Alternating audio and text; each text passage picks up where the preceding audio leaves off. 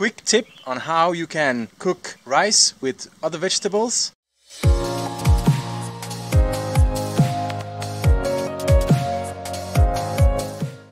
And you do it in the pressure cooker. The usual amount of water with the rice and the potatoes and then pressure cook it for 30 minutes. There are many benefits of uh, doing it like this because then you only have one cooking device. It's easy, it's fast, it's maintainable. You only need to wash one pot. Yeah, you can throw in any vegetables around you have. You can also cook beans in it if like you have fresh beans like I do it with the white potato pumpkin sweet potato it's very nice with uh, it gives like um, the rice an extra flavor and also a different texture which is sometimes nice it also saves energy because you only have one device then if you need like a steamer also or whatever then you will need to have use more energy from electricity or gas or whatever you use for heating or wood.